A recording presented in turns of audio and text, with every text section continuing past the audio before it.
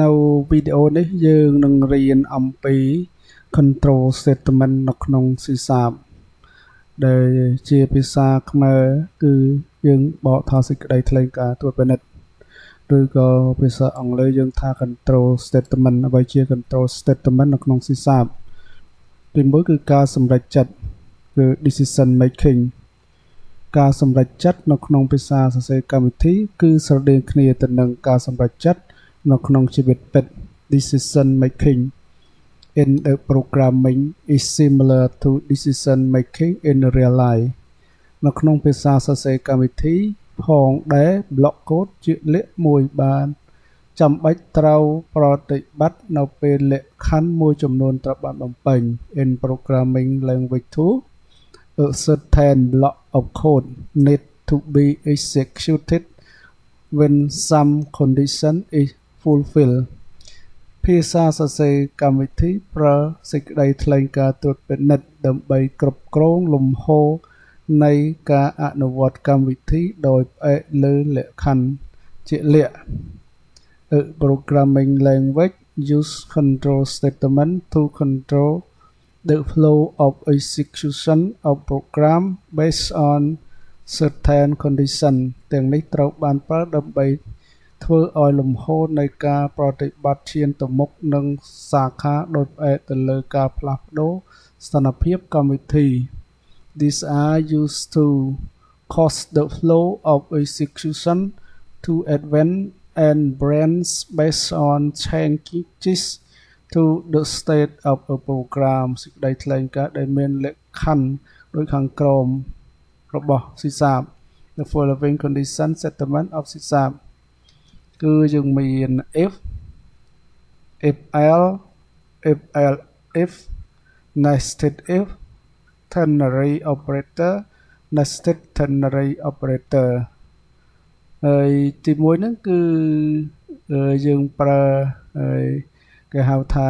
decision making decision ការសម្រេចចិត្តការសម្រេចចិត្តអញ្ចឹងក្នុងការសម្រេចចិត្តគឺវាមានលក្ខខណ្ឌតើលក្ខខណ្ឌណាមួយយើងសម្រេចចិត្តតាមណាអញ្ចឹង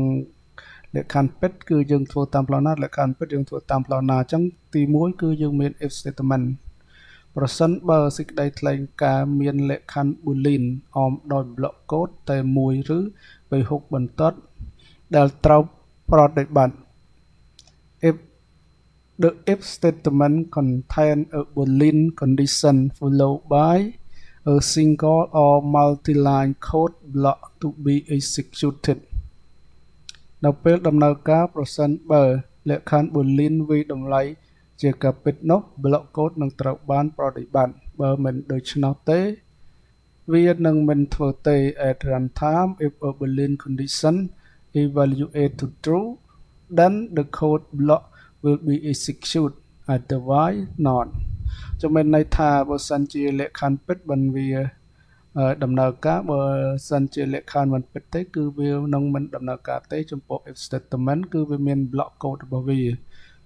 យើងមើលនៅក្នុង syntax របស់វាហៅថា Wixap syntax គឺវាមាន if ហើយបន្តមកយើងបើកវងកញ្ចក់ហើយ condition condition ហ្នឹងគឺលក្ខខណ្ឌអញ្ចឹងលក្ខខណ្ឌយើងមានច្រើនបែបច្រើនយ៉ាងតូចជាងធំជាងស្មើឬមិនស្មើឬខុសពីអីហ្នឹងគឺជា លក្ខខណ្ឌរបស់យើងហើយទៅតាមភាពជាស្ដែងរបស់យើងបន្ទាប់មកគឺយើងបើកសញ្ញាឃ្លាបហើយបន្ទាប់មកយើងបិទហើយនេះគឺក្នុងនេះគឺ block code ដែលត្រូវប្រតិបត្តិនៅពេលលក្ខខណ្ឌវិតម្លៃថាពិតចុះបើសិនជា condition នេះពិតដូចអ្វីដែលយើងចង់បាន គឺវានឹងធ្វើដំណើរវានឹងប្រតិបត្តិកូដនៅក្នុង block យើងនេះបើមិនពិតទេ គឺវានឹងមិនប្រតិបត្តិកូដនៅក្នុង block នេះទេអញ្ចឹងយើងមើលសំសំគាល់ note ប្រសិនបើដង្កៀបអង្កាញ់នេះមិនត្រូវបានប្រើជាមួយ if statement នោះសេចក្តីថ្លែងការណ៍ដែលនៅជាប់នឹងវាត្រូវបានចាត់ទុកថាជាប់ទាក់ទងនឹង if statement if the curly bracket curly bracket are not used with its statement then the statement just next to it is only considered associated with the if statement មានន័យថាមានន័យថាម៉េចប្រសិនបើអត់ប្រើសញ្ញាដង្កៀបអង្កាញ់ទេកូដមួយបន្ទាត់ក្រមបន្ទាប់គឺជា if statement បើយើងចង់ប្រើកូដច្រើនបន្ទាត់នៅក្នុង if statement យើងត្រូវប្រើសញ្ញា bracket នេះអញ្ចឹងមានន័យថាបើសិនដែលយើងអត់ចង់ប្រើកន្លែងនេះដាក់សញ្ញាអឺ bracket នេះទេ curly bracket ទេមានន័យថាបន្ទាប់ពី f កូនកូដមួយបន្ទាត់គឺជា កូដដែលស្ថិតនៅក្នុង if statement បើសិននៅលក្ខខណ្ឌពេទ្យគឺវានឹងធ្វើមកបន្ទាត់ខាងក្រោមបើលក្ខខណ្ឌមិនពេទ្យទេ គឺវាអត់ធ្វើទេអញ្ចឹងចំពោះហើយការទៅសេអឺកូដដែលយើងគិតថាមានតែមកបន្ទាត់ គឺយើងមិនបាច់ដាក់អឺ curly bracket ក៏បានដែរដង្កៀបបង្កាញ់ក៏បានដែរហើយបើយើងចង់ដាក់ក៏បានដែរតែចំពោះបើយើងមានចាប់ពី2បន្ទាត់ឡើងទៅ គឺយើងត្រូវតែប្រើ curly bracket ដើម្បីវាដឹងថាអឺ statement ហ្នឹងគឺជារបស់ if condition ហើយយើងមើលខាងក្រោមនេះទៀតឧទាហរណ៍ថាបើសិន if condition យើងសេបែបនេះ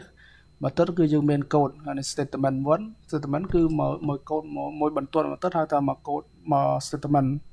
មក statement 1បន្ទាប់មក statement 2បែបនេះមានន័យថា statement 2គឺមិនស្ថិតនៅក្រោម if statement ទេ ចាំមានន័យថា statement 2គឺវានៅដាច់ស្មើនឹង if statement គឺវាមិនស្ថិតនៅក្រោម if statement ទេ គឺវាស្ថិតនៅស្មើ statement ចុះយើងមើលគំនុះតាំងលំហនៃ if statement នេះគឺ if ជាគំនុះតាំងរបស់ if statement កាលណាយើងមានសញ្ញាព្រួញគឺសម្រាប់មកកូដដែលចូលមកគឺដល់លក្ខខណ្ឌ condition របស់យើងកន្លែងនេះគឺ if condition អញ្ចឹងបើសិនជាលក្ខខណ្ឌមិនគឺលក្ខខណ្ឌ condition យើងពេត true គឺវានឹងប្រតិបត្តិនៅសេចក្តីថ្លែងការណ៍ខាងក្រោមនេះគឺមានន័យថាបើពេតគឺវានឹងធ្វើកូដខាងក្រោមនេះបន្ទាប់មកគឺចប់គឺវានឹងធ្វើបន្តតទៀតហើយមួយទៀតបើលក្ខខណ្ឌមិនពេតទេ គឺកូដនៅក្នុង block នៃ if នេះ statement គឺវានឹងអត់ធ្វើទេគឺវាមកដល់ចប់តែម្ដងគឺវាអត់ដំណើរការនៅក្នុង block វាទេកាលណាអត់ពេត តែយើងមើលឧទាហរណ៍ឧទាហរណ៍ថាយើងមានឧទាហរណ៍មួយ យើងមានអត្ថេមួយឈ្មោះ name ជាប្រភេទ string ហើយយើងផ្ដល់តម្លៃវាឈ្មោះពិសីហើយបន្ទាប់មកគឺយើងដាក់ if គឺលក្ខខណ្ឌរបស់យើង if name ស្មើពិសីបើសិនជាពេតគឺ console.writeline hello ហើយបន្ទាប់មកគឺឈ្មោះពិសីនេះចាក់កន្លែងសញ្ញាស្មើពីរដងនេះគឺមានន័យថាសម្រាប់លក្ខខណ្ឌ កណ្ដាលយើងដាក់ជាលក្ខខណ្ឌគឺយើងត្រូវតែដាក់សញ្ញាស្មើពីរដងបើយើងដាក់សញ្ញាស្មើមួយហ្នឹងគឺមានថាអាសាញគឺផ្ដល់តម្លៃឲ្យមានន័យថាផ្ដល់តម្លៃពិសេសនេះទៅអាទេនេះបើសិនតែយើងដាក់កន្លែងនេះវាជាលក្ខខណ្ឌបើសិនតែយើងដាក់សញ្ញាស្មើតែមួយទេ គឺមានន័យថាវានឹង error កើតឡើងព្រោះក្នុង C# ហ្នឹងកាលណាបើយើងផ្ដល់តម្លៃទៅឲ្យអត្ថេមួយគឺយើងប្រើសញ្ញាតែមួយទេតែបើសិនជាយើងលក្ខខណ្ឌគឺយើងប្រើ សញ្ញាស្មើពីរដងចាំមានន័យថា if name នេះស្មើពីស័យបើស្មើគឺវានឹងបាត់បាត់កូដក្នុងនេះគឺវានឹងបោះពុំថា hello ពិសេសអញ្ចឹងកន្លែងហ្នឹងគឺវាមានដាក់សញ្ញាដុល្លារមួយ គឺវាបញ្ជាក់ថាយើងអាចប្រើអត្ថេនៅក្នុង string នេះបានក្នុងនេះគឺបញ្ជាក់ពី string double quote សងខាងនេះគឺមានន័យបញ្ជាក់ពី string បើយើងចង់ប្រើអត្ថេនៅក្នុង string យើងគឺយើងប្រើសញ្ញា curly bracket នេះទៅហើយដាក់ឈ្មោះហ្នឹងមក របស់អត្ថេរបស់យើងមួយនេះអញ្ចឹងគឺវាហ្នឹងបោះតម្លៃឈ្មោះនេះមកឲ្យអញ្ចឹងបើសិនជាមិនពិតទេ គឺវាហ្នឹងរំលងគឺវាមកធ្វើបន្ទាត់តខាងក្រោមនេះទៀតវាមកធ្វើបន្ទាត់ខាងក្រោមទៀតអញ្ចឹងកន្លែងហ្នឹងបើពេតគឺវានឹងបោះពុំនេះមកតែចំពោះពាក្យមួយហ្នឹងគឺក៏វាអាចខុសគ្នាដែរអក្សរតូចនិងអក្សរធំបើសិនជាយើងសេហ្នឹងអក្សរធំតែយើងពេលយើងកន្លែងហ្នឹងយើងដាក់អក្សរតូចក៏វាដូចគ្នាដែរហើយមួយទៀតយើងមើលឧទាហរណ៍មួយទៀត គឺ n x យើងមានអត្ថេមួយជាប្រភេទ x ជាប្រភេទ n ហើយយើងផ្ដល់តម្លៃឲ្យ22ហើយមួយទៀតគឺដំអត្ថេ y ជាប្រភេទ n មួយយើងផ្ដល់តម្លៃវា18អញ្ចឹងកន្លែងយើងដាក់លក្ខខណ្ឌ if បើ x ធំជាង y គឺវាបោះពុំវាធ្វើកូដនៅក្នុងនេះបើវាមិនពិតទេគឺវាអត់ធ្វើកូដនេះទេគឺវាម្លងមកដល់បន្ទាត់ខាងក្រោមនេះតែម្ដង ចឹងក្នុងលក្ខខណ្ឌនេះគឺ x 22 គឺវាធំជាង y អញ្ចឹងគឺវាបោះពុំមកបន្ទាត់នេះមកមានន័យថា x is greater than y គឺបោះពុំនេះនេះគឺជាលទ្ធផលបន្ទាប់ពីយើងអើយបាន run វាអញ្ចឹងយើងអាចអឺឧទាហរណ៍បាន គឺយើងអាចវាយអនុវត្តចំពោះឧទាហរណ៍ if statement យើងអាចចូលមើលនៅក្នុង Visual Studio នេះឧទាហរណ៍ថាខ្ញុំមានឧទាហរណ៍មួយ ខ្ញុំដាក់វាថា if statement នេះពេលយើងបង្កើតវាមួយមកបង្កើតវាចេញយើងមួយយើងដាក់ if statement ហ្នឹងបន្ទាប់មកគឺវាឲ្យកូដយើងមកនេះទាំងអស់ហើយគឺអ្វីដែលយើងតបន្ថែមគឺយើងសរសេរតែប៉ុណ្ណឹងថែមទៀតមកហើយនេះបាទពេលហ្នឹងគឺយើងមានអានេះដូចខ្ញុំបញ្យល់មកអញ្ចឹងហើយយើងនេះមកយើង run វាទៅយើងឃើញលទ្ធផលហើយអញ្ចឹងយើងមើល if statement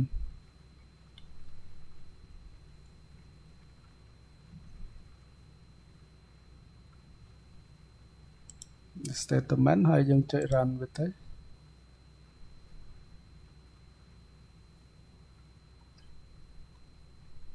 គឺ hello ពិសីហើយនឹង x is greater than y គឺជាលទ្ធផលដែលយើងទទួលបានបាទមកប៉ុណ្ណឹងពេលយើង run ឧទាហរណ៍កូដរបស់យើង ហើយចំពោះ F គឺវាអត់ពិបាកអីទេហើយមួយទៀតបើសិនជាយើងចង់ដឹងថាកម្មវិធីយើងដំណើរការបែបម៉េចគឺយើងអាចចុច F11 ពេលចុច F11 គឺវា run ហើយបន្ទាប់មកគឺវាមានសញ្ញានេះរបស់យើងនេះគឺបន្តមកគឺយើងអាចចុច F11 បន្តទៀតទៅគឺកន្លែងហ្នឹងគឺយើងឃើញដំបូងយើងអាចមើលតាមចាំបានដំបូងគឺ name របស់យើងគឺវាអត់ទាន់សាញតម្លៃទេព្រោះនៅវាតំដល់វាអត់ទាន់ run ចប់ទេពេលវា run ចប់គឺ name គឺវាសាញតម្លៃឲ្យគេគឺវាដាក់ឈ្មោះ វិស័យឲ្យយើងបន្តមកគឺលក្ខខណ្ឌនេះលក្ខខណ្ឌនេះគឺវាលក្ខខណ្ឌនេះ name ស្មើវិស័យមែនអត់នេះគឺវានឹងគឺវាដាក់ true នេះគឺយើងមើលទៅឃើញ true អញ្ចឹងបើសញ្ញា true គឺវានឹងធ្វើកូដក្នុងនេះគឺនឹងបោះពុំក្នុងមកបើ fall គឺវាអត់ធ្វើទេឧបមាថាខ្ញុំហើយ run សត្វថ្មីខ្ញុំដាក់អក្សរពីតូច បាទហើយខ្ញុំចុច F11 ទៀតទៅដើម្បីចង់ដឹងលទ្ធផលរបស់វាយើងចុច F11 F11 function key ពេលដល់ឥឡូវនេះគឺវាអត់ទាន់សាញទេពេលនេះគឺវាសាញរួចហើយពិសីហើយពេលនេះគឺពិសីហើយនេះស្មើពិសីអត់គឺអត់ស្មើទេនេះណែនេះពិសីហើយនឹងស្មើពិសីនេះអត់គឺវាដាក់ថា fall អត់ស្មើទេអញ្ចឹងគឺវាអត់ឃើញវាអត់ធ្វើនៅបន្ទាត់នេះទេ គឺវារំលងមកដល់បន្ទាត់ ទី2តែម្ដងបាទបន្ទាត់ទី2ហ្នឹងពេលចុចមកលក្ខខណ្ឌពេតនៃវាដាក់ true លក្ខខណ្ឌ true អញ្ចឹងគឺវានឹងធ្វើនៅ condition នៅទៀតអានេះគឺគ្រាន់តែ read key console dot read key មានន័យថាវានឹងចាំទទួលការ key in របស់ user អញ្ចឹងគឺនេះគឺលទ្ធផលបើសិនតែយើងដូរគឺបានលទ្ធផលតែមួយទេឥឡូវលុតទឹកនេះគឺមានន័យថាចាំទទួលការ key in របស់ user ចា៎